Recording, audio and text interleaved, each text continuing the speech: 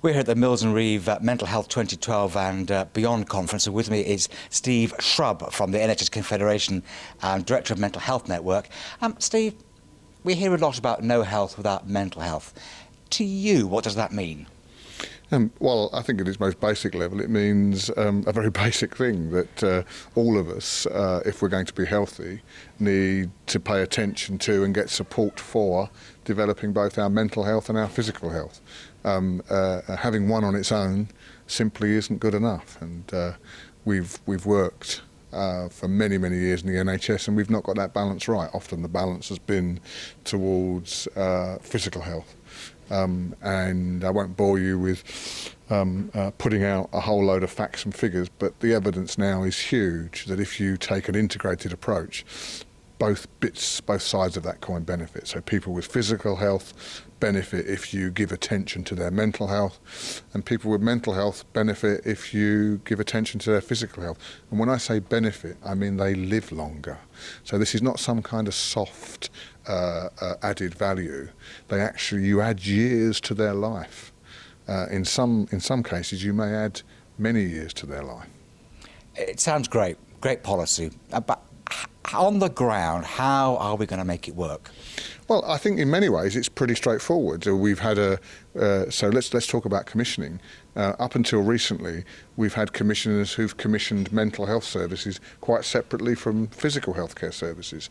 Uh, with GPs as commissioners, uh, at least technically, we should have we should have individuals who understand the value of both and uh, can start doing both. So you have a commissioner that actually doesn't just commission services from a district general hospital and then somewhere over there commissions services from a mental health provider. They actually bring them both together to start commissioning together.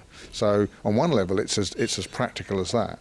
Um, there are some technical barriers to it, but uh, but in terms of um, uh, uh, getting things going, it's just getting people motivated to understand the huge benefits that you gain from that. Sounds like a big change in mindset. How, how, do you achieve that?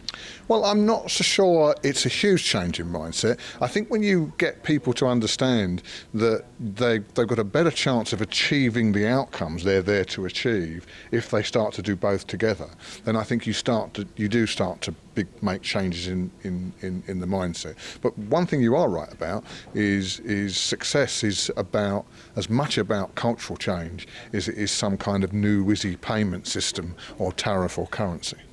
So some training needed for GPs and CCGs on the issue? Uh, not some training. Um, uh, uh, um, people need the support to do the job. You need support to do your job. I need support to do mine.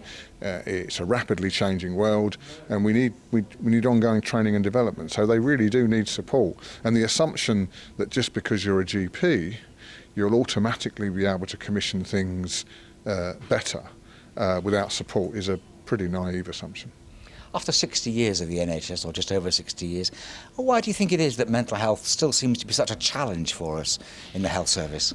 Um, I think there are a couple of reasons. Um, I think there is something called stigma, um, uh, and if stigma affects the public, um, many civil servants, ministers, managers, uh, doctors are members of the public. So, you know, there's no reason why they should be completely immune from that. Um, so there is something about about stigma, um, and uh, the minister Paul Burstow, I think, made a huge contribution by this term parity of esteem. So he's trying to drive that change.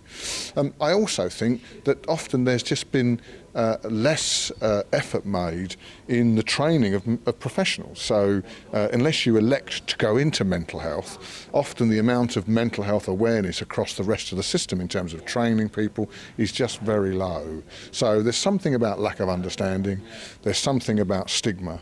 Um, uh, they aren't the only factors, but I think when you put those together, you, ac- you can actually understand why there are some barriers. And finally, putting aside where you would like to be in three or four years' time, where do you think we will be with uh, mental health in uh, three or four years' time? Um, I think there are at least three exciting developments, some of which people in the audience have heard today. The first is a focus on recovery. Uh, recovery not defined by nurses and doctors and psychologists and social workers, but recovery defined by service users. So really very clear recovery outcomes which organisations, whether they're for profit, not for profit, NHS trusts or foundation trusts, uh, they're funded by and measured by achieving those recovery outcomes. And I think the second thing would be um, this much talked about but rarely achieved integration. If we actually had commissioners in two or three years' time who were commissioning both mental health care and physical health care in a more integrated way, instead of having two or three or four or five contracts, they had a smaller number of contracts that actually had running through them both a mental health and a physical health element to them. Steve, thank you very much indeed. Pleasure.